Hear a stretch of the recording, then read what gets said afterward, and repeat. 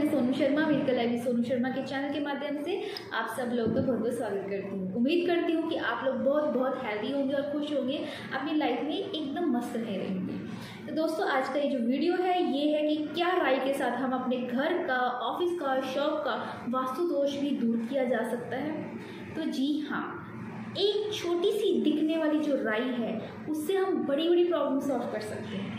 वास्तु दोष को भी सॉल्व किया जा सकता है। अब आपको क्या करना है?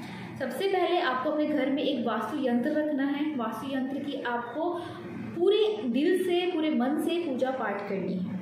ठीक है जी? उसके ऊपर गंगा जल से छीटा देना है, धूप दिया बाती दिखाना है और उनसे प्रार्थना करनी है कि, हे वासुदेव, आपके घर में जो भी वास्तु दोष है, वो सारा समाप्त हो जाए, खत्म हो जाए और एनर्जीज जो है वो बैलेंस्ड हो जाए। दूसरी चीज़ अब आपको क्या करनी है? मंगलवार या शनिवार के दिन में। आपको एक प्लेन वाइट कलर का पेपर लेना है प्लेन पेपर आपको उसमें एक मुट्ठी राई डाल देनी है, ऐसे ही आपको उसको फोल्ड करके एक कह लो कि रैप कर लेना है, जैसे पेपर है, ठीक है? इसमें आपने राई डाली, एक मुट्ठी डालनी देन आपने उसको फोल्ड कर देना है, चार बार आप तय लगाएँगे फोल्ड हो जाएगा। अब ऐसी आपको चार कर लेनी है, और आपको अपने बेडरूम में या घर के किसी भी एक रूम में, उसके चारों कोने में ये एक एक एक बनाई है आपने राई की प्लेन पेपर के ऊपर जो आपने राई रखी है, वो पूरी बनाई है। ये आपको एक कमरे के चारों कॉर्नर में रख देना ज़रूरी नहीं है वो आपका रूम हो, ज़रूरी नहीं किसी और का रूम हो।